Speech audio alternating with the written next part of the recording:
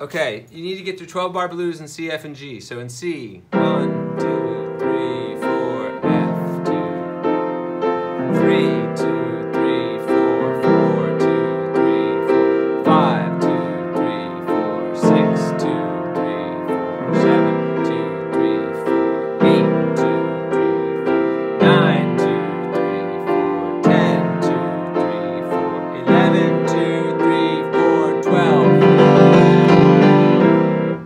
Okay, you know that scale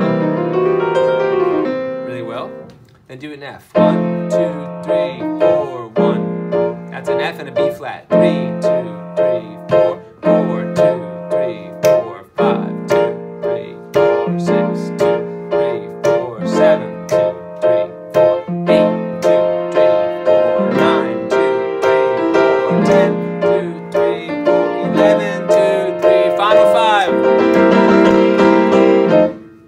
Okay, you know that scale pretty well too? It's got a pair of black keys and you cross with your thumb on B. Sorry.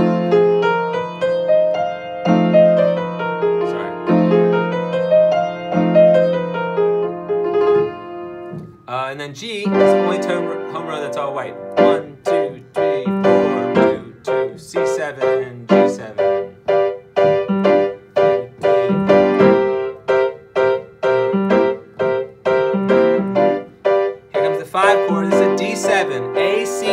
F sharp. And the final five.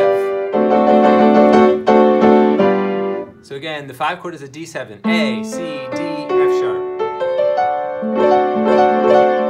Going to a C, then a G, and then a final D. And then the scale, you practice it over the home row, is almost identical to C except for one last one less black key at the end. It ends with an F and a G natural.